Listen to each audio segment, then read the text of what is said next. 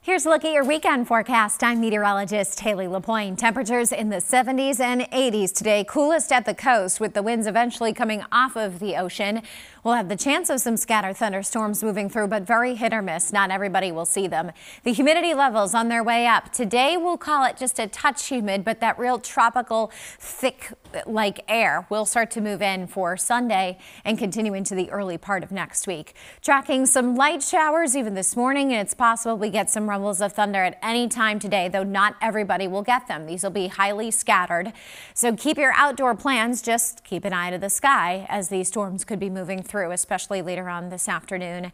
And as we go into the morning hours even, it's possible you get a brief downpour or a thunder, thunder shower.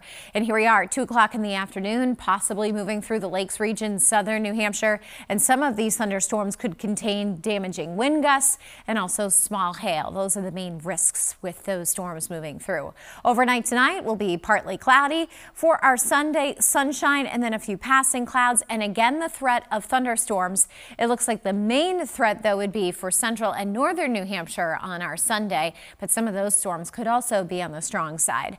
Watching the tropics very closely, we have two storms right now, Tropical Storm Marco and Tropical Storm Laura, both of which eventually may move into the Gulf of Mexico and cause some problems somewhere along the Gulf, the Gulf Coast. This is the latest track from Tropical Storm Laura. It is expected to kind of move through the Caribbean here over Cuba before going into the Gulf uh, sometime midweek next week and may uh, get stronger and become a Category 1 hurricane. As for Marco, this one also goes into the Gulf and may impact areas from Louisiana into Texas by midweek next week with some heavy rainfall.